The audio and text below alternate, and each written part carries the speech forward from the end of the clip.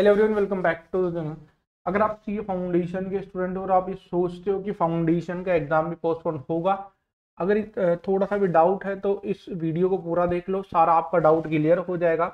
Video में आगे बढ़ने से पहले आप सभी से रिक्वेस्ट है कि चैनल को अभी तक आपने सब्सक्राइब नहीं किया है तो कर लेना आपको सी रिगार्डिंग सारी अपडेट हमारा चैनल दे देगा। बहुत सारे स्टूडेंट के बहुत सारे कमेंट आते हैं। उसका मैं आंसर सी अनुपम शर्मा सर के एक मैसेज से देना चाहता हूँ। सर क्या बोलते हैं? देखो तो जून चौबीस का एग्ज़ाम है ना, फाउंडेशन के बारे में बात कर रहा हूँ मैं। वो एग्ज़ाम एज पर शेड्यूल होगा इसमें कोई भी चेंजेस नहीं होने वाले क्योंकि आपको पता है जो इलेक्शन खत्म हो जाएँगे। सोलह को और फाउंडेशन का एग्ज़ाम बीस से स्टार्ट है तो इसमें कोई भी चेंजेस नहीं आने वाला। आपका जो फाउंडेशन का एग्ज़ाम है, इस पर शेड्यूल होने वाला है। बाकी इंटरमीडिएट और फाइनल की डेट रीशेड्यूल हो सकती है, लेकिन अभी इसके रिगार्डिंग कोई भी आपको ऑफिशियल अनाउंसमेंट देखने को नहीं मिलेगी। ठीक है, जैसे ही अनाउंसमेंट आती है तो मैं आपको बता दूँगा। चैनल से जुड़े रहना, चैनल को सब्सक्राइब रखना, वीडियो आपको पसंद है तो वीडियो को लाइक और शेयर ज़रूर करना। आपसे हम मिलेंगे वीडियो में। बाय